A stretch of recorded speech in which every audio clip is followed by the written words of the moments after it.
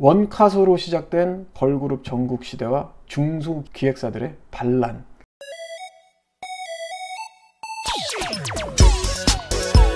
원더걸스가 열풍을 일으키면서 본격적으로 2세대 걸그룹 시대가 개막이 됐다. 다시 이제 SM으로 돌아가서 보아나 동방신기로 자존심을 다시 되찾았죠. 여기에 조금 더 힘을 보태기 위해서 SES의 좀 영광을 재현하고 싶었나 봐요. 여자 동방신기 를 표방한 천상지를 만들어서 데뷔를 시킵니다. 4인조 아카펠라 뭐 실력파 어, 걸그룹이라고 할 수 있는 이름으로 나와서 딱 들어도 벌써 아 느낌이 어, 동방신기 느낌, 한문 느낌, 약간 이런 느낌이 있지 않았습니까? 근데 일단은 이분들 자체가 중고신임 느낌이 조금 강했기 때문에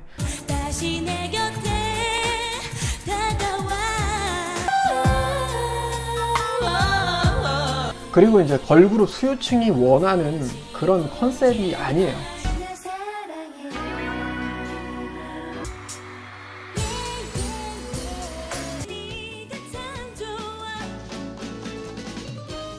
일단은 여자 동방신기라는 이름으로 동방신기 팬들의 반감이 너무 컸어. 사실 천상지 같은 경우에는 조금 데뷔가 순탄치는 않았던 것 같아요. 이어서 이제 2005년에 슈퍼주니어를 데뷔를 시킵니다. 그동안 이제 여러 드라마나 뮤직비디오 같은 데서 얼굴을 좀 알린 연습생들을 이제 포함해가지고 초대형 그룹. 그때 당시에 슈퍼주니어만큼 많았던, 명수가 많았던 그룹도 없었던 것 같아요. 저의 첫인상은 그랬어요. 야, 이게 이제 바로 연습생 대방출이구나. 역시나 SM이 그래도 아이돌 명문답게 연습생들도 그냥 연습생이 아니다. 모든 기획사에서 상타치들만 모아놓은 거라는 걸 또 보여줬죠. 그러면서 이제 가수로서도 서서히 자리를 잡고 뭐 노래도 이제 인기가 어, 많아지기 시작했고요. 차후에 이제 보아랑 동방신기와 함께 SM을 이끌어가는 2세대 아이돌의 주역으로 슈퍼주니어가 자리를 잡게 되죠. 근데 슈퍼주니어까지만 해도 역시 그 미련을 못 버렸던 것 같아요. H.O.T에서부터 하고 싶었던 그 멤버의 졸업과 멤버의 다시 입학. 근데 슈퍼주니어도 그렇게 하면 안 될 것 같아. 엑소에서 뭔가 해보려다가 아니다, 이것도 아니다. 우리가 아직 자리를 못 잡았다. 그래서 결국 NCT로 NCT로 한 거죠. 나쁘지 않은 데뷔와 인지도 유료 팬클럽까지 모집했던 블랙비트가 2집이 나오지가 않아서 아, SM에서는 진짜 어중간하면은 살아남기 힘들다는 걸 또 보여줬습니다. 블랙비트가 동방신기랑 너무 닮아 있는 게 많이 있어서 그랬던 것 같아요.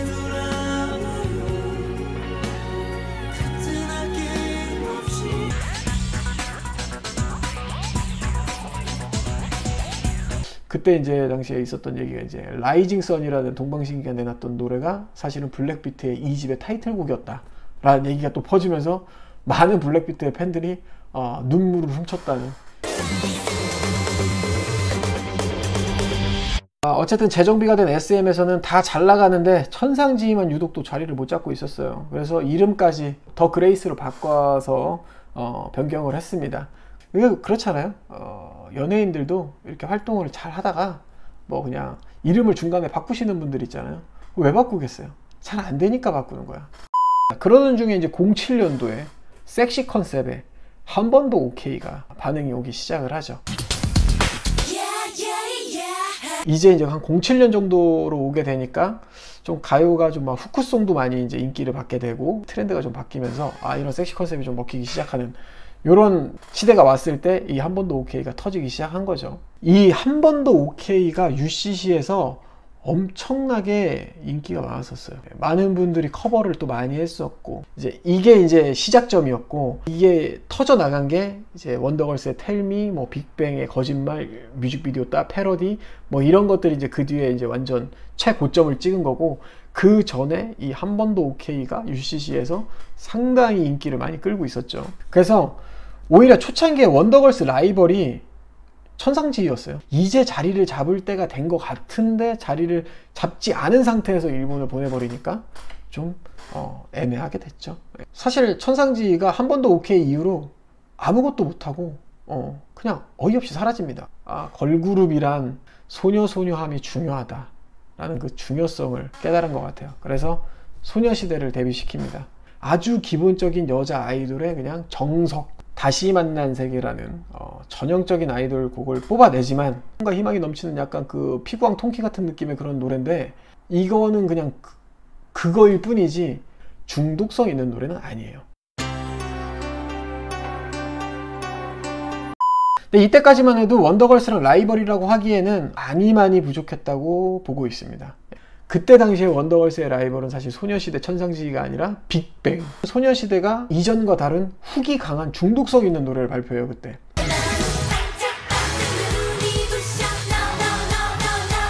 미모의 포텐이 또 폭발하면서 엄청 히트를 하게 됩니다. 그리고 어, 어차피 원더걸스도 없겠다. 정말 무주공산이라고 얘기하죠. 그래서 이후 소녀시대가 발표하는 노래마다 막 빵빵 터지면서 사실상 2세대의 여덟 원탑을 이끌게 되죠. WS501로 나름 2대 기획사에 체면을 차리고 있었던 대성기획 역시 4인조 걸그룹 카라를 데뷔시킵니다. 이 팀은 과거에 뭐 핑클이나 1세대에 인기 있었던 여자 아이돌의 모습이 아니라 약간 성숙미에다가 힙합을 살짝 가미한 어중간한 컨셉으로 이런 것들이 뒤섞인 되게 총체적인 난국으로 데뷔를 하게 됩니다. 카라 하면은 뭔가 대형 기획사에서 나온 걸그룹의 느낌이 충만해야 되는데 그런 느낌이 아니라 뭔가 약간 블랙펄, 스완, 뭐 약간 이런 느낌 있는 거야. 막차 타는 가수들의 최후의 보루라고 할 수 있는 쇼바이벌까지 나옵니다. 앞으로는 카라를 못 보겠구나. 어, 이런 생각을 했거든요. 역시 감각의 호연사마가 잘못된 걸 느끼고 바로 잡아야겠다. 이것이 아니다. 라는 걸 좀 빨리 깨달았죠. 김성희 씨가 나가고 그리고 강지영 씨랑 구하라 씨를 영입해서 팀의 연령대를 일단 확 낮추고 락규, 프리띠걸 같은 이런 상큼한 진짜 걸그룹 같은 노래들을 가지고 나서 이 팀을 갱생시킵니다. 가수의 근본, 노래가 인기가 많아지면은 자연스럽게 다른 활동도 많아진다. 라는 걸 기초로 해서 노래가 인기가 많아지고 인지도가 올라가기 시작하니까 이제 멤버 각각 개개인이 예능 활동을 하기 시작하는데 다음에 발표했던 허니라는 노래가 공중파에서 데뷔 첫 1위를 찍으면서 3대 걸그룹 세력을 이제 완성을 시킵니다. 이후에 발표했던 미스터라는 노래가 한국에서도 인기가 있었지만은 일본에서 대박이 나요. 가수로서는 이제 좀 세력이 많이 희미해졌던 WS501을 대신해서 DSP를 먹여 살리는 대표 가수로 등극을 하게 됩니다. 하지만 이호연 사장이 카라가 잘 나가던 와중에 쓰러지게 됩니다. 근데 이 DSP라는 회사는 이호연 사장이라는 사람이 중심이에요. 그러니까 완벽한 중앙 집권 체제이고 모든 것의 결정권을 갖고 있는 게 이호연 씨인데 이분이 쓰러지자마자 회사가 급격하게 무너지기 시작합니다. 그리고 나서 망하는 회사의 전형이 뭡니까? 가족 경영. 이호연 씨의 부인이 이제 회사 대표로 나오게 돼요. 연예 매니지먼트가 뭔지도 모르는 사람이고 현재 이 판이 돌아가는 방법도 모르는데 그 부인이 권력을 잡으면서 회사의 소속 가수들이랑 뭐 대표 가수였던 카라랑 뭐 계약 해지설이라든지 뭐 여러 구설수가 이제 나오기 시작을 해요. 그러면서 그 사이에 이제 런칭 때는 후배 그룹이었던 뭐 레인보우라든지 에이젝스라든지 모두 히트를 못 해요.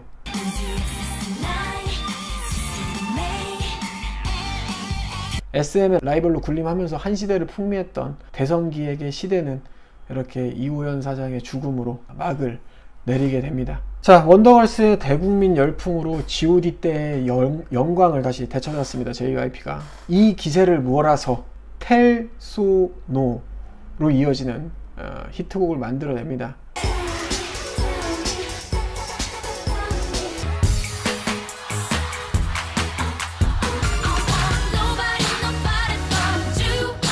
걸그룹계에서도 사실은 독보적으로 원탑이었어요. 케이블의 서바이벌 프로그램 열혈라마를 제작해서 2PM, 2AM을 데뷔시키게 됩니다. 아무래도 동방신기 WS501 빅뱅이 좀 가- 강하게 자리를 잡고 있던 그 남자 아이돌의 그 철밥통 세계에 숟가락을 좀 밀기는 다소 이 2AM과 2PM이 좀 약한 편이었어요. 일단은 발라드 전문 그룹이라고 할 수 있는 2AM 자체는 입덕 포인트 자체가 좀 약해요. 화려한 퍼포먼스랑 인트로에 JYP로 도배한 것만 봐도 2PM이 메인이라는 것을 어, 알 수 있었죠.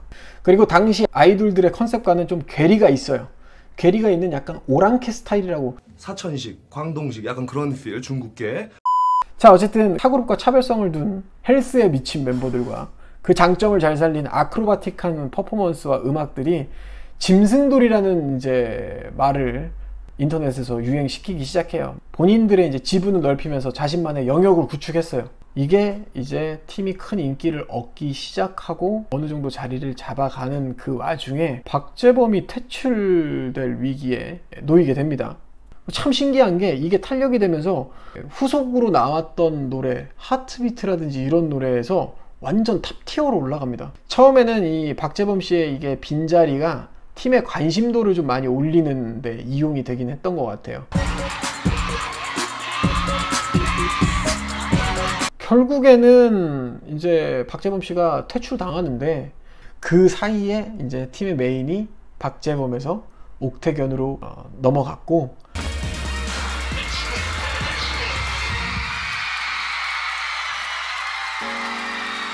신인 걸그룹인 미스 A를 데뷔시킵니다. 데뷔하자마자 공중파에서 1위를 찍고 메인 여자 아이돌 그룹으로 시작을 해요. 뭔가 이 미스 A라는 그룹이 top tier의 위치에 있다. 그러니까 원카소랑 비빈다. 라는 느낌은 없었어요. 하지만 건축학개론 이후에 수지의 위상이 달라집니다. 팀 자체 명성도를 수지가 뛰어넘으면서 그룹 자체는 음, 뭐 쓸쓸하게 어, 마무리를 하게 되죠. JYP가 그래도 3대 기획사로서 어, 이름을 굳건하게 지킬 수 있었던 이유는 원더걸스가 미국을 가서 조금 흔들리는 사이에 2PM과 수지가 이 JYP를 좀 이끌어 가고 있었다. 이런 거죠. 자, 이 JYP에서 사실 이제 떨어져 나온 음, 회사들이 있었어요.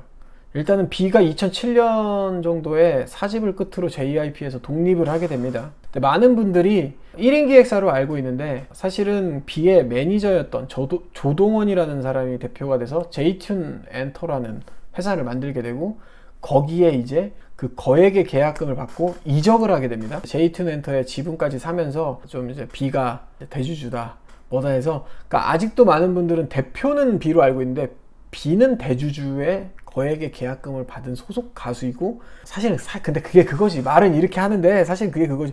뭐 B의 매니저였던 조동원이 대표가 돼가지고 뭐 만들었다고 하는데 그게 그냥 그, 그 말이 그 말이야 사실. 뭐 한국 시장이나 동아시아 시장을 이제 공략하기 위해서 스피드 레이서의 주인공은 아니고 이제 조주인공 정도 되는 어, 인물로 출연을 시키고 그게 계기가 돼서 닌자 어쌔신이라는 영화를 또 찍게 되죠. 그러면서 몸을 막 엄청 키워요. 그때 당시에는 이제 또 우리나라에서 300이라는 영화가 또 상당히 많이 흥행을 해가지고 그 300에 나왔던 그 사람들의 그 몸매, 그 트레이너가 그대로 붙어가지고 비의 몸을 만들어줬다. 해가지고 또 인기가 뭐 많았어요. 헐리우드 영화의 또 주인공이잖아. 우리나라 영화 배우 중에 단독 주연으로 해서 헐리우드의 영화가 간판이 걸린 사람이 아직 없어 아무도. 근데 이제 그게 이제 약간 국뽕이 이제 살짝 주입이 되면서 마케팅이 엄청 많이 된 거, 엄풀이 엄청 많이 된 거죠. 월드스타. 나중에 욕을 많이 먹었는데 아무튼 헐리우드 영화에도 나오고 뭐 몸도 키우고 난리가 났어. 그런 따끈따끈한 상태에서 레이니즘이라는 노래를 가지고 컴백을 합니다.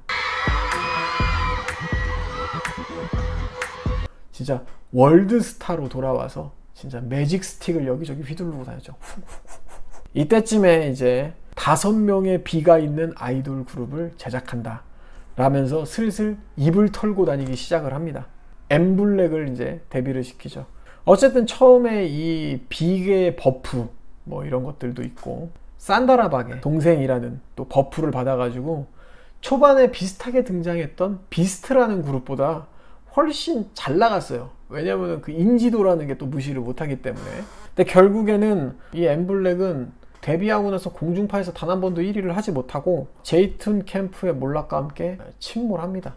비의 프로듀서로서의 능력은 정말 아니라는 걸 다시 한번 알려주게 됐죠. 자, 그래서 이 제이툰 엔터라는 게 사실은 원래 주식 상장사는 아니었어요. 근데 이것도 마찬가지로 주식 상장이 되어 있는 다른 부실한 기업을 사서 그 기업이 연예 엔터 부분을 하나 만들어 놓고 이름은 사명을 제이툰 엔터로 뭐 바꾼다든지 뭐 이런 식으로 해가지고 꼼수를 부려가지고 상장사로 만들어 놔요.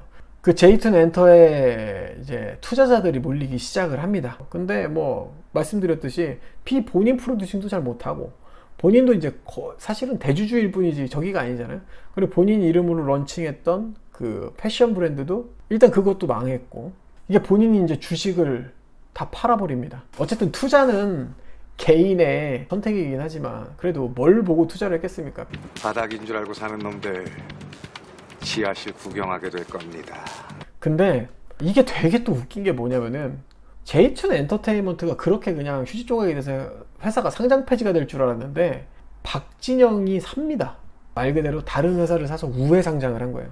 자, 여기서 또 떨어져 나온 게 비만 있는 건 아닙니다. 홍승성이라는 사장이 독립을 해서 큐브엔터를 설립하게 됩니다. 초반에 2AM의 매니지먼트를 대리한 거 보면은 이 홍승성 사장이 싸워서 나간 건 아니에요. 그래서 첫 그룹으로 비스트랑 포미닛을 만들게 됩니다. 둘 다 활동 이력이 있는 멤버들이 포함되어 있고 초반에 인지도 면에서는 좀 약간 유리한 점이 있었어요. 아무래도 JYP랑 협력 관계이기도 하고 JYP에 있던 연습생들을 그대로 데리고 와서 바로 뭐 빨리 데뷔를 시킬 수 있었던 그런 속도전이 크게 작용을 했던 것 같아요. 특히나 이제 비스트 같은 경우에는 동방신기라든지 빅뱅이라든지 이런 좀 상위 티어 그룹들이 해외 진출이나 뭐 이런 걸로 좀 국내 공백이 좀 있었는데 그렇게 공백이 생긴 시기에 독보적으로 잘 나가던 기간이 있었어요. 자, JYP에서 떨어져 나온 게 큐브만 있는 게 아니에요. 빅히트랑 스타쉽 엔터테인먼트도 있습니다. JYP에서는 대표 프로듀서이자 작곡가였던 방시혁 씨가 2005년도에 독립을 하게 돼요. 그래서 빅히트 엔터테인먼트를 만들게 되고 사실은 이제 방탄소년단 이전까지는 뭐 잘 모르 모르죠 사람들이. 근데 완벽한 독립이라고 하기보다는 JYP랑은 좀 유대 관계를 유지하면서 가수들의 이제 매니지먼트를 대행하고 있었어요. 이후에 이제 남녀 혼성 에이트라는 그룹을 만들어 가지고 데뷔를 시키는데 사실 혼성 그룹이 잘 될 시기도 아니었고 사실 데뷔하자마자 얼굴을 알리진 못하고 카라와 마찬가지로 막차 타는 가수들의 최후의 보루였던 쇼바이벌에서 처음에 얼굴을 알리기 시작을 합니다. 그래도 이 방시혁 씨가 근본이 작곡가여서 노래는 또 좋은 노래들을 많이 만들어내서 에이트라는 그룹은 지금은 잊혀졌지만 그래도 어, 싸이월드를 조금 해보셨던 분들이라면은 뭐 심장이 없어라든지 이런 노래들 싸이월드 배경음으로 사랑받는 노래는 남기게 됐죠. 자 이후에 이제 K-윌 씨를 정식 데뷔를 시킵니다. 스타쉽 엔터테인먼트가 이제 빅히트에서 분리를 하게 됩니다. 빅재미를 보지 못한 K-윌을 데리고 나가죠. 사실상 K-윌은 이제 성공을 했잖아요. 근데 그 K-윌의 성공은 스타쉽이 꿀을 빨게 된 거죠. 이후에 이제 스타쉽은 사실 시스타라든지 뭐 이런 그룹들을 처음에 뭐 쾌조로 출발하진 않았지만은 그래도 이후에 계속 명성을 쌓아가면서 이제 시스타만의 영역을 구축했고 그 이후에 이제 뭐 매드 클라운이라든지 정기고라든지 이런 분들도 좀 받아들이면서 음원 깡패들의 그 기획사로 성장하게 돼서 사실 방탄소년단이 나오기 이전까지의 빅히트보다 더 잘 나가는 회사였어요. 자, 빅히트는 이후에 뭐 에이트 이후에 사실 JYP랑 계약이 끝난 뭐 임정희 씨라든지 아니면 2AM의 뭐 다른 멤버들이랑 다시 재계약을 해서 이분들의 매니지먼트를 맡기도 했는데 아직까지는 소속사를 대표할 만한 가수가 나오지는 못했어요. 그래서 방시혁 씨 개인적으로도 이제 히트곡이 잘 나오지 않고 해서 나름의 침체기가 있었는데 백지영 씨의 총 맞은 것처럼이라는 노래를 작곡을 하면서 다시 부활을 하게 됩니다.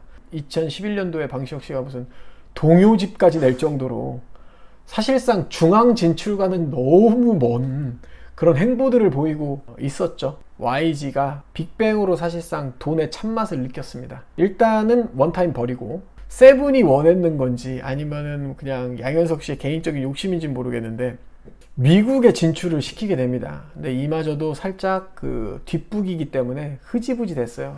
어쨌든 한국으로 돌아와서 이제는 본인보다 더 잘 나가게 된 빅뱅의 도움을 받아서 몇몇 싱글을 냅니다. 뭐 만족할 만한 성과를 이루지 못하고 YG와는 이제 안녕을 고하게 되죠. 뭐 그 사이에 이제 걸그룹 전국 시대가 사실 대세였어요. 그래서 타 걸그룹과는 다르게 여덕을 자극할 수 있는 확실한 컨셉으로 2NE1을 데뷔를 시킵니다.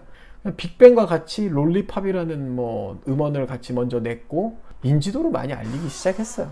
그리고서 나왔던 데뷔곡 Fire라는 노래가 상당히 인기를 많이 끌게 됐고요. 원더걸스, 카라, 뭐 소녀시대로 대표되는 원카소의 걸그룹 전국시대 때 위협을 줄 수 있는 본인들만의 영역을 완전하게 만들어 버립니다. 빅뱅 역시도 뭐 당시에 한류 열풍을 공략해가지고 일본을 중심으로 아시아 전역 진출을 하면서 이전과 다른 수준의 수입을 보여줍니다. YG 같은 경우에는 새로운 그룹이나 새로운 가수를 데뷔시키는 것보다는 이미 데뷔를 해서 이름 있는 가수들과 작업을 하거나 회사로 영입을 해서 세력을 좀 불려나가는 그런 형식의 매니지먼트 사업을 시작하게 됩니다. 우리의 기세가 이렇다라는 것을 보여주려고 하는 전형적인 쌈마이 경영이라고, 보시면 돼요. 연예 매니지먼트 회사로서는 최악이다.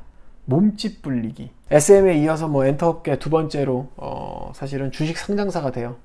이게 중요한 게 뭐냐면은 이렇게 세력을 불려서 돈이 많아지게 되면은 소속 가수들한테 투자를 하거나 뭔가를 해야 되는데 사실상 투자라는 거가 눈에 보이지는 않았어요.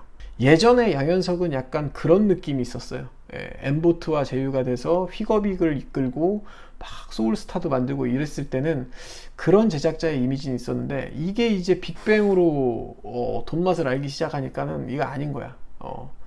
연예 기획사인데 연예 기획사와 관계되는 사업이 아니라 요식업을 하고 뭐 땅을 사고 건물을 사고 이러면서 회사에 뭐 아니면 개인적으로 재산 불리기를 시작하면서 아 이제 회사가 점점 마탱이가 간다는 전조를 보이기 시작을 합니다. 근데 상당히 운은 좋은 사람인 것 같아요. 그러는 와중에 싸이가 이제 새로운 소속사를 찾는데 이제 YG의 싸이가 계약을 하게 돼서 뭐 라인나우라든지 이런 노래들을 내게 돼요. 이 와중에 2012년에 사이에 강남스타일이 빌보드에서 터지는 바람에 생각지도 못한 복이 굴러 들어옵니다. 이걸 발판으로 삼아서 빌보드의 수많은 아티스트들과 셀럽들의 인맥을 구축하게 되는 계기를 만들어주게 됩니다. 이제 대성을 밀어내고 SM과 JYP를 위협할 만한 3대 기획사 자리를 잡게 됩니다. 자, 아, 김광수 사장 1편부터 나왔던 사람인데 잊혀지지 않고 2인조 듀오 다비치를 데뷔를 시켜서 아주 쏠쏠하게 재미를 보게 됩니다. 하지만 남자 가수가 돈이 된다는 것을 확실하게 인식을 하고 있었던지라 초신성이라는 예, 그런 그룹을 만들었는데 망합니다. 자 그리고 나서 09년도에 티아라를 데뷔를 시킵니다. 첫 방을 어, 라스로 잡아줍니다. 그러니까 다비치랑 좀 비교했을 때는 조금 더 신경을 더 많이 쓴 것 같아요 티아라에. 하지만 초반에 약간 시크릿, 애프터스쿨, 뭐 시스타 약간 이런 느낌을 많이 예, 받게 했죠 티아라도. 다소 뭐 유치뽕짝이긴 했지만은 어, 컨셉만은 확실했던 뽀삐뽀삐비라는 노래가 또 엄청 잘 되는 바람에 이 노래를 기점으로 해서 메인 걸그룹으로 좀 세력이 커진 그런 편입니다. 사실은 이때 이제 걸그룹 전성시대라고 하는데 정말 많은 걸그룹들이 많이 나왔었어요.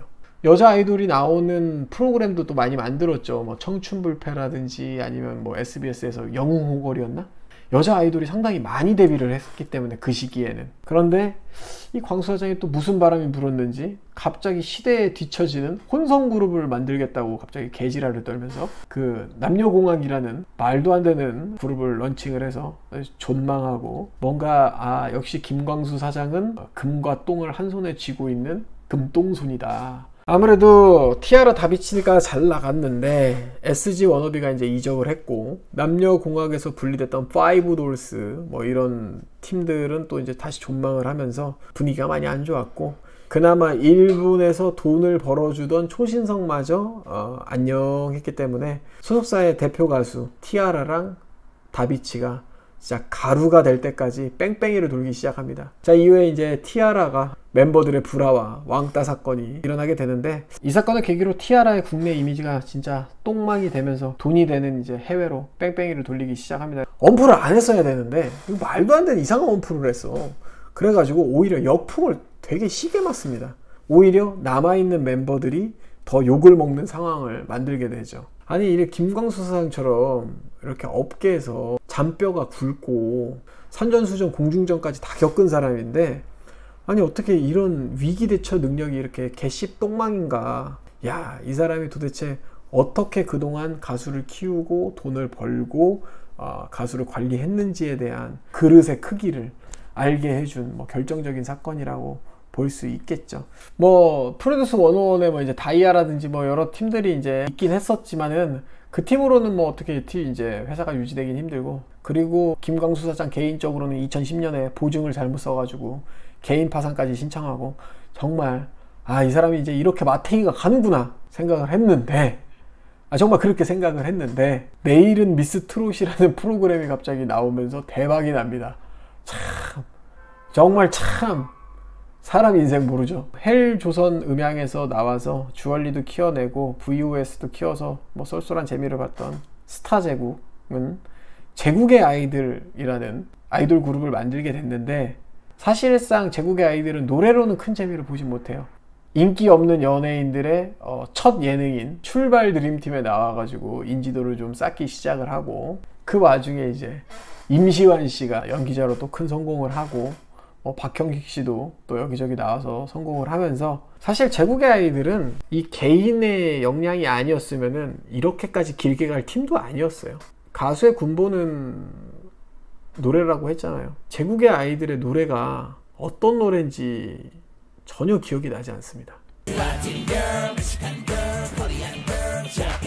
FT 아일랜드로 빅재미를 보게 된 FNC 같은 경우에는 CN블루를 데뷔를 시켜가지고 이게 또 오픈빨이라는 게 있잖아요. 오픈빨과 언플 등의 푸시를 통해서 단기간에 자리를 잡게 됩니다. FNC도 마찬가지로 조금 돈이 생기니까 그 이미 데뷔했던 인지도가 있는 연예인들을 뭐 MC라든지 이런 연기자라든지 이런 데에 이제 영역을 더 넓혀 나가기 시작을 하죠. 자 이제 2세대 아이돌 시대의 마지막이 상당히 뜬금없는 계기로 시작이 됩니다. 사실 동방신기가 일본으로 가서 밑바닥부터 좀 차근차근 시작을 해요. 그래서 오리콘에서도 영향력을 보여주는 그룹으로 성장을 했는데 그 기간 동안 한국에서는 슈퍼주니어라든지 이런 팀들이 동방신기의 공백을 메우면서 SM에서 이제 활약을 하고 있었고 그러면서 이제 김경욱이 이제 쑥대밭으로 조져놨던 SM의 암흑기는 좀 마무리가 됩니다. 하지만 아직까지 그 이수만 씨가 밴드의 미련을 못 버렸는지 누가 봐도 엑스제팬을 따라서 만들었던 것 같은 트랙스를 만들어가지고 정말 아무리 잘 나가도 인생이 내 맘대로 되는 것은 아니다라는 그런 것을 다시 한번 또 알려주게 돼서 어, 트랙스는 또 그렇게 역사 속으로 사라지게 되고 후속 그룹으로 이제 샤이니랑 FX를 데뷔를 시켜요 SM에서 근데 이분들 역시도 뭐 큰 무명 없이 빠른 시일 내에 시장에 안착하게 되면서 본인들만의 또 영역을 만들어냈고 크게 뭐 인기 그룹으로 자리를 잡게 됩니다. 일본 활동에 집중한 결과 큰 성공을 이루고 약 1년 반 만에 미로틱이라는 노래로 국내에 복귀를 한 동방신기가 그렇게 긴 공백이 있었음에도 불구하고 큰 인기를 보여줬고 이때 당시에 보여줬던 무대들이 레알 찐이다라는 말이 나올 정도로 좀 클래스를 보여줬죠. 완성형 아이돌의 끝은 바로 이런 모습이다. 라는 걸 보여주기에 되게 충분했던 것 같아요. 이후에 계속 후반으로 가서 이제 활동을 했으면은 또 어떤 결과가 있을지 모르겠는데 결국에는 이제 이렇게 좀 평화의 시대가 오래 지속되지 못하고 이 동방신기의 멤버 3명이 전속계약 효력 정지 소송을 내면서 결국 SM에서 이제 나오게 되죠. 동방신기가 이제 3대 2로 찢어지게 됩니다. 2세대 아이돌 시장이 급변하기 시작합니다. 2세대에서 활약했던 가수들도 이제 점점 중견으로 넘어가게 되면서 3세대 아이돌 판으로 넘어가게 되죠.